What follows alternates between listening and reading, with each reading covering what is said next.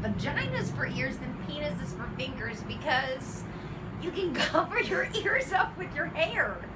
And also, most vaginas have hair on them, so no, you wouldn't be able to see them. but your face would smell. hey guys, thanks for watching Skitsofrenic. Make sure to like, favorite, and subscribe to our channel. Peace.